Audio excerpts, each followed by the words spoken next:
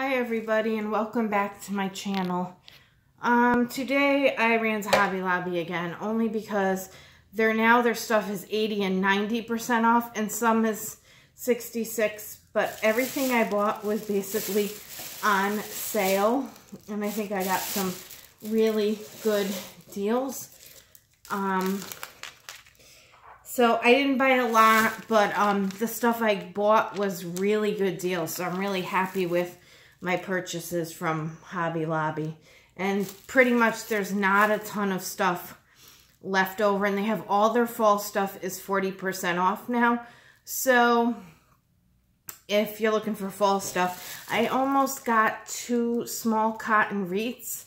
They were $9.99. They would have been 40% off. They would have been like um, $5.99.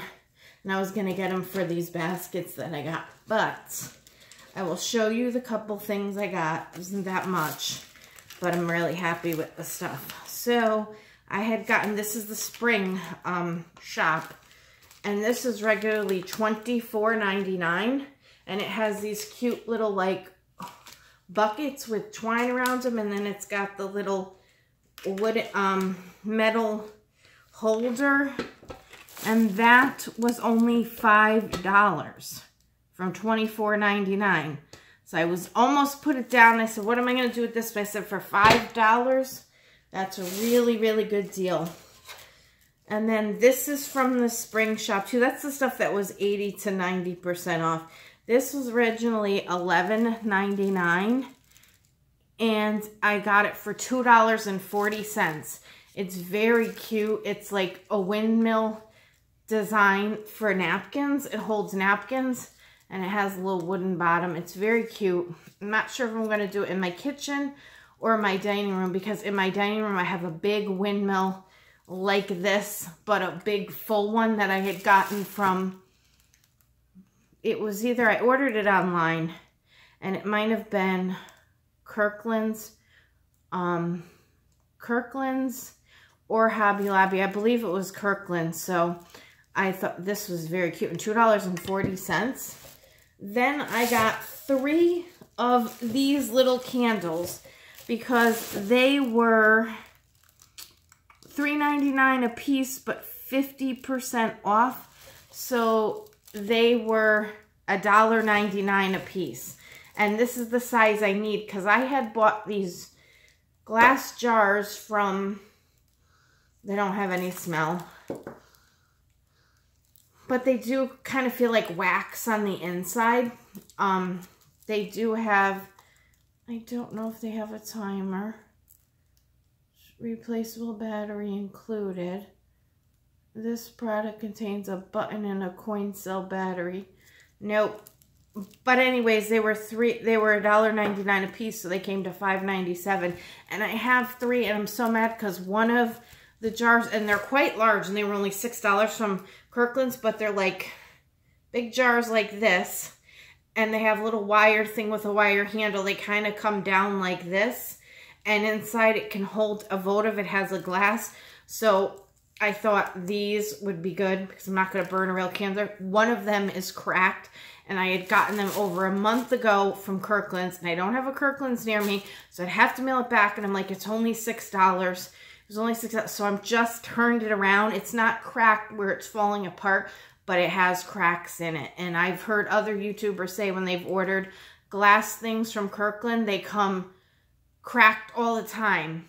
This was my first time because I ordered three of them.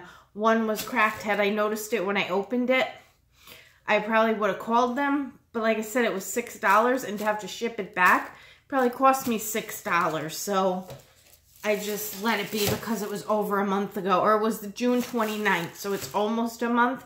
I don't have the packing slip. I'd have to call them, and I was like, oh, for $6.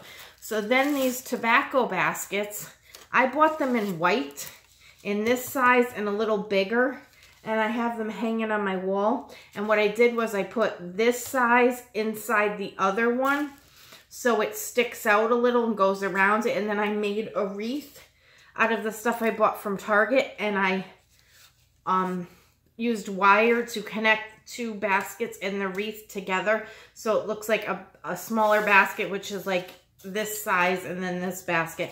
but this is a smaller basket. And these were, and I wasn't going to get any more, but they're $17.99 a piece. And they came out to $3.60. So $7, I just was like, I want the brown now because I'm going to put them on the opposite sides of the wall where the windmill is hanging in the dining room. And then what I had gotten from them was two stems. They're kind of, I was looking for wheat and this was the closest I could get. And this is like a brown color, even though it might look like purple or something. It's really brown. And this one is white with the brown. And I'm going to put them, cut them and put them in here because on Kirkland's site, they have something like that. And it was like 25 bucks with the wheat already in it. So these were $3.99 a piece and they were 50% off. So I got both for $3.99. And then my last find, which I really, really liked. It's humongous.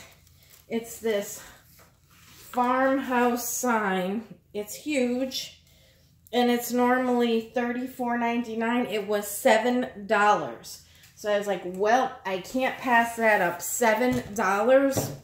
So those were the good finds. They just don't have a lot of stuff left, especially the good signs. They have signs that I don't really care for. This is the only one. I was looking for a kitchen one.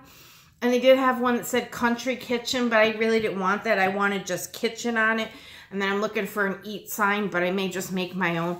But that was my small Hobby Lobby haul. Hope you enjoy it and give it a thumbs up and subscribe and I'll see you in my next video. Bye.